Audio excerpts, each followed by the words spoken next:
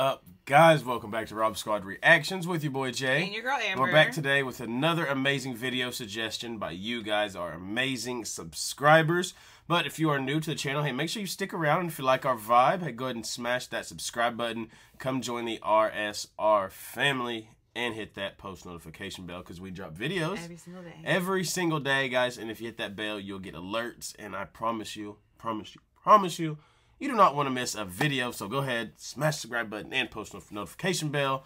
But I'm super excited of who we're reacting to today because it has been a long, long time and I think I'm pretty sure I reacted to these uh, these guys before Amber was really even on the show. So I don't think you know who they are. So go ahead and drop it on them. Tell us who we got. Righteous Brothers, and the song is Unchained Melody. The Righteous Brothers. I want to say it was it was like the first month, maybe the first couple of weeks when I reacted to um, a song I can't. I can't even remember. It's been so long what the song was. You, I looked it up to see if you listened to it before, uh, and you listened to "You've Lost That Loving." You've feeling. lost that loving feeling. It's been a long time, but I'm excited to get back to them today because honestly, I forgot what their sound is, what they sound like. So I don't know what it was yeah, to be. So it'll almost be brand new to both of us again. But let's go ahead and get into it.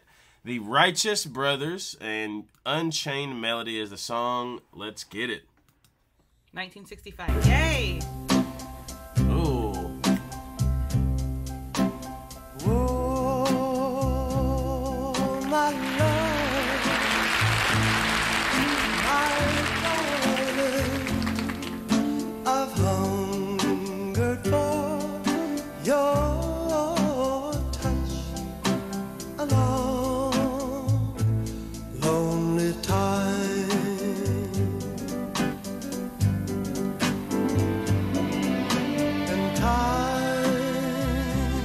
years. Goes by so slowly, and time can do so much.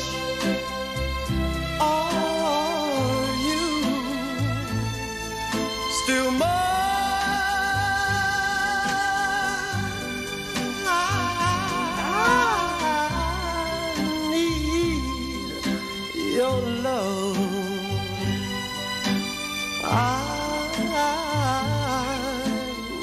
Your love.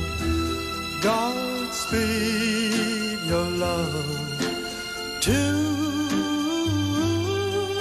me. The way that he is carrying those notes in and out, like, I don't know what. I mean, obviously, it's 1965 he gives me like Barry vibes. Does does he not give you Barry Gibb vibes? Yeah, but what I'm focused on is the fact that he's making me feel so, like I'm getting lost right now. I'm kind of just yes. getting lost in the sound and getting lost in the music, and it's absolutely beautiful. My one question is why were the microphones so tiny back then? They tiny, they tiny, tiny. And remember in a couple of Tom Jones ones, they were they, they were like this big. Small, but this is gorgeous. But like, we, I love. I got excited when I saw 1965. I love because I yeah I, I, I love, love this stuff. Sound. Like I yeah I was say it's it's the sound like the 60s just have like a distinctive sound that I, that we absolutely love. And we were just talking about. We reacted to a crooner yesterday. Would this be considered a crooner? I, I don't know. I don't know if it's a crooner or if this was just more so along the lines of what the 60s sounded like. But it was I'm so, kind of getting obsessed with the '60s. It, it, I feel like it was so smooth yes, in the and everything 60s. was just so like the Absolutely songs were so sweet it. and genuine.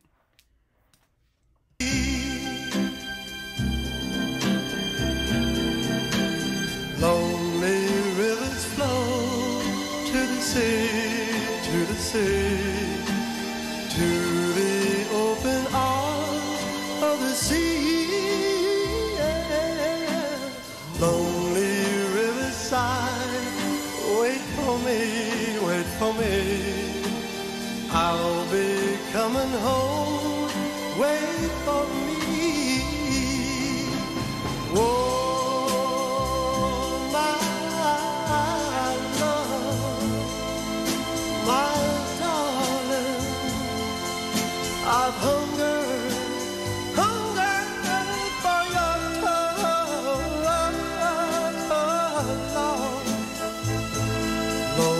time.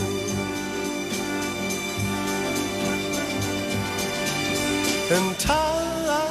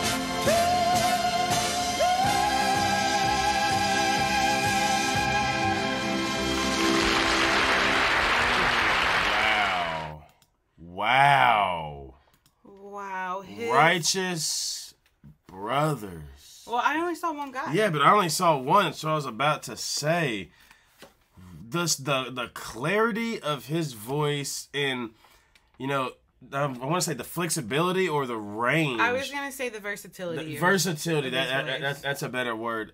No, the way he was going in and out, and the way he was carrying you on those, hit those tunes. high notes along with carrying Mm. out that smooth, beautiful tone the whole song. To be able to just hit those high notes whenever he wanted to. Oh my Oh, goodness, my absolutely beautiful. And then to get in the song, you know, it seemed like, like he was he was like kind of serenading the girl. He was you know confessing his love for the girl, and then you know towards the very end, you know, he was saying, "Time, you know, are you gonna wait for me?"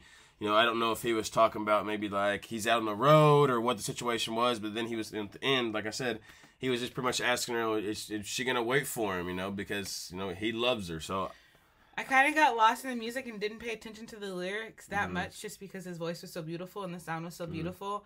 And then this song in particular, along with a lot of the love songs you hear in the 60s, it's just, though, for some reason, the 60s just, when I hear these type of songs, it's like dancing in the kitchen with the one you love most. Just like Right. Mm. those simple moments. I don't know, there's something about it and, And I absolutely love and it. and I may be completely wrong on you know the meaning. So drop down the comments. say we're all about. And correct me if I'm wrong. today, so guys. drop down the comments. Let us know exactly what the song was about. But you know, back to that era, I, I there's something about it. It's just so special. so so good. it's, like, the, like it's the 60s to me the music was so genuine and just so it was to me. It, it was about their voices. It was about the the talent they had, the voice that they, the, the sound that they could produce. it was beautiful absolutely amazing. So thank you guys so much. But again, this is gonna be the end of the video. If you're new here, go ahead and smash that subscribe button, hit the post notification bell.